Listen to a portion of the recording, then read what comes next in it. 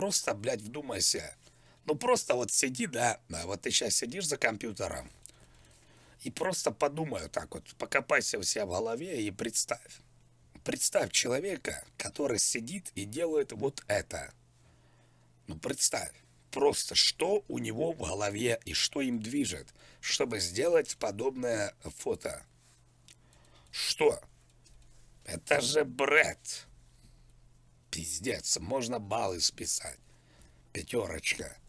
Причем здесь, блядь, пятерочка? Причем здесь баллы пятерочные? Я, блядь, не понимаю.